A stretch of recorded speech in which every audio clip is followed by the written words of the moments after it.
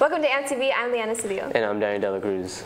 Attention juniors, how would you like to be the winner of up to a $20,000 scholarship over four years? Or what about the chance for a paid internship? Come by the Go Center or your counselor to find out more information about the Dream Big Fort Worth Determined Scholarship Award. Congratulations to this month's FAFSA winners. Andrea Perales won a college gift pack from Texas Women's UT Austin and UT Arlington. Kiara Lee won a Texas Wesleyan gift pack with backpack, t-shirt, and more. Yasmin Baghdadi won a $10 steak and shake gift card. Trelicia Gilbert won a $10 Sonic gift card. And John Burnett won a $10 Wendy's gift card. Seniors, be sure to complete your FAFSA and you will be able to be included in next month's drawing. Any ladies interested in playing softball for the 2019 season, please see Coach Johnson in room 919 ASAP. Season starts Friday, January 18th at 4 p.m. and you need a physical and completed paperwork to participate. Hope to see you there.